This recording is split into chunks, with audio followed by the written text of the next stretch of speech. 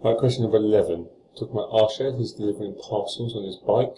We've got a graph here, so this is a distance time graph, so it should say time along the bottom here. Okay, uh, here's the first, here's the traffic graph for the first 40 minutes. So it's 1 o'clock up to 1.40, you can see that runs up here. Uh, what time did he start his journey? Well, here we go. Started down here. So it started at 1 o'clock.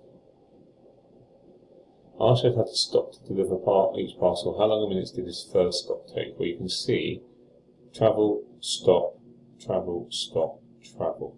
So how long did it take? Well, you can see it goes from down there to down there.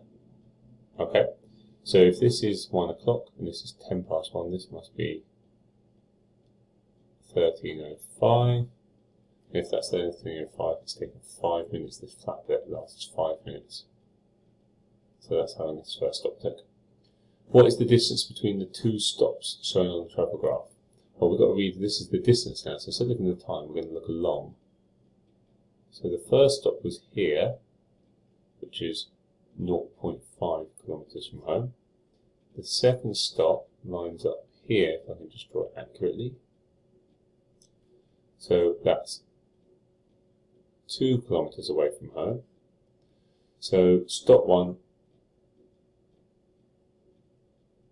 is half a kilometre away. Stop 2 is 2 kilometres away.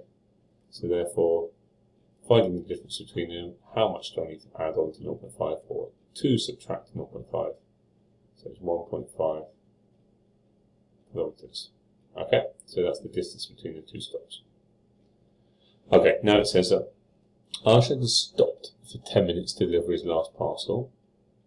He then cycled home at a steady speed, so he cycled straight home, didn't stop on the way home, and then he got home at 4.15, complete the travel graph. Okay, so we've got to go from here, and we need to, I'm just going to get a straight line up. So it's just going to flip around, I think the toolbar might just appear on the screen.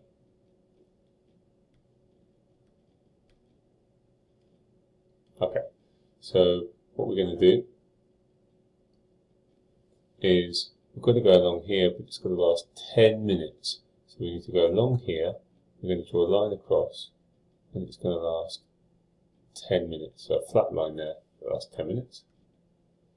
And then what we've got to do, we've got to travel straight home. So from the 10 minutes, let's just check, see if this lines up, yeah. We're going to travel from here straight down to 2 o'clock, 5 past 2, 10 past 2. It's going to be right between here. So 1, 2, 3, 4, 5. So just down to there. Just going to have a flat bit on the graph here, which is the 10 minute stop, and then just travelling straight home comes back down. And then we're finished.